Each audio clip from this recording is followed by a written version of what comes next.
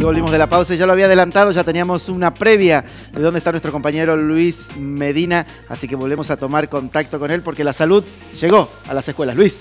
Así es, Renzo, la salud va a clases. Así se llama este proyecto que en el mes de julio comenzó el municipio capitalino. Muy acertado, por cierto, ¿no? Porque ¿qué más importante que la salud? Uno por ahí dice, sí, la salud es lo más importante y es verdad. La salud es lo más importante que tenemos los seres humanos. Así que, bueno, para esto el municipio ha implementado este plan. Bueno, estamos con el doctor Gómez Ponce con el doctor Sagra y también con Susana Montaldo, que es la secretaria de Políticas Educativas. Doctor, bueno, director de, la asistencia pública, bueno, la verdad que es excelente este programa, doctor. Buen día. buen día. Bueno, mire, eh, este, ya viene esto a completar una de mis ambiciones que he tenido eh, toda la vida, en los últimos años sobre todo, al ver los problemas que daba la el estado de nutrición de los chicos con obesidad, sobrepeso, desnutrición, o sea, en una palabra, malnutrición, los dos extremos. Bueno, estamos viendo de que eh, la malnutrición en, el índice de la obesidad y el sobrepeso está incrementándose. Es por la mala alimentación, porque cuando uno dice malnutrición, no significa que sea desnutrición, o sea, puede haber desnutrición y puede haber malnutrición, o sea, un niño que está con sobrepeso o obeso debe estar malnutrido porque pueden faltarle micronutrientes, tiene exceso de calorías, por eso acumula hamburguesas, La alimentación, digamos, no adecuada. No adecuada. Bien. Entonces, en este caso, digamos, bueno, ¿cuál es el control que se le hace? Bueno, acá, como les decía, esto viene a cumplir eh, un, sueño que yo tenía, controlar a los chicos a nivel escolar, hacer prevención y con de la mano de nuestro subdirector, el doctor Sagra, este año hemos implementado este programa a partir de julio en las escuelas municipales. Este, consiste en qué? En hacer un examen clínico, un examen oftalmológico, un examen pondoestatural y que a su misma vez se anexa con otro programa que ya lleva ocho años, nueve años, que es la salud bucal que lo viene desarrollando el Departamento de Odontología de la Asistencia Pública. O sea, es un, digamos, un combo, completo.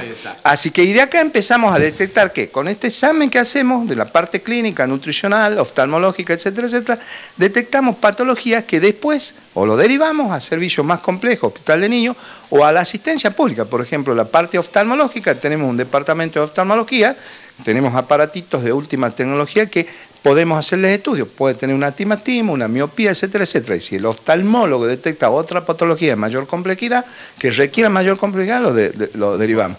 Y en la parte nutricional, por supuesto, con nuestras nutricionistas, este, empezamos el tratamiento de los niños y a su misma vez eh, las nutricionistas van a dar charla a los papás para eh, enseñarles la alimentación saludable. Eh, doctor, gracias. La verdad es que hay, hablando de nutrición, hay varios malnutridos en el canal, ¿eh?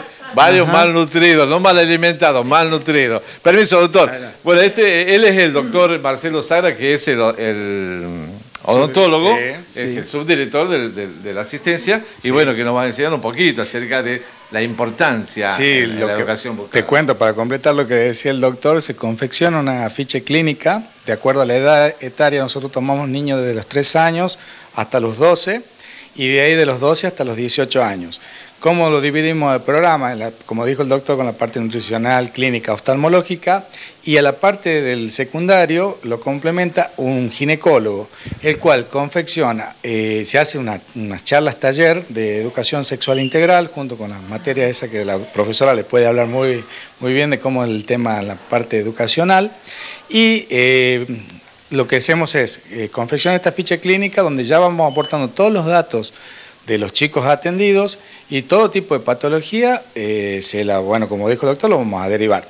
Toda esta idea es, digamos, eh, es hacer un todo y llegar previniendo eh, la salud de nuestros niños, tanto niños desde la primera etapa del nivel inicial al secundario, ¿sí? Doctor, por supuesto que faltan muchos, todavía muchas escuelas, pero a usted hasta lo que va viendo, ¿cómo es la salud bucal de los niños tucumanos? Y está complicada.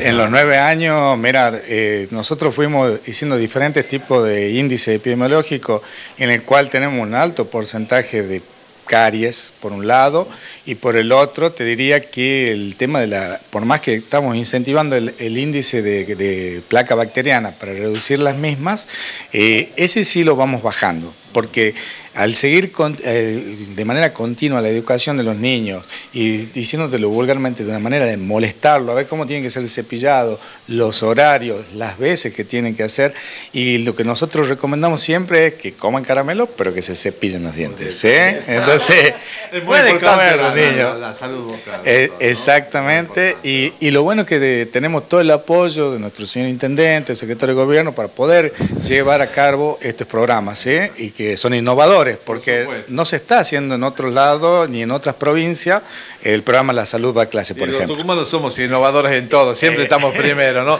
Bueno, Susana Montaldo, ella es la secretaria de Políticas Educativas del municipio capitalino. Bueno, la verdad que felicitarlos, juegamos por este programa, porque está bueno que eh, eh, hay muchos niños que no tienen para ir al médico y bueno, Nosotros muy contentos de darle continuidad al programa, pero además con el plus que tiene este año, que es mucho más integral, no está eh, circunscripto a la educación bucal, sino que todos los otros aspectos que ya explicaron ellos.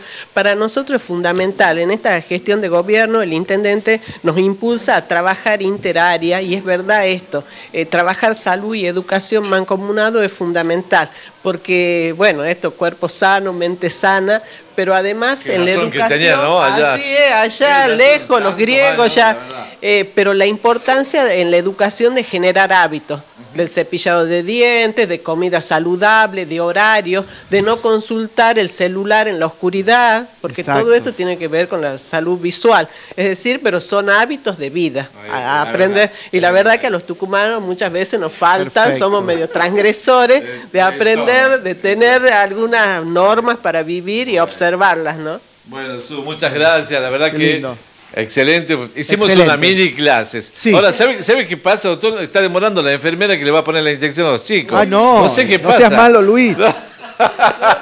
No, no, no, no, no, no. No, chicos, no se le pone ninguna inyección. A lo que, a lo que está de 10 de peso. Gracias, chicos, Luis. Nos excelente vemos enseguida. Bueno, hasta excelente luego. Enseguida volvemos a tomar contacto con vos. Hasta luego. Hasta luego, Luis Medina.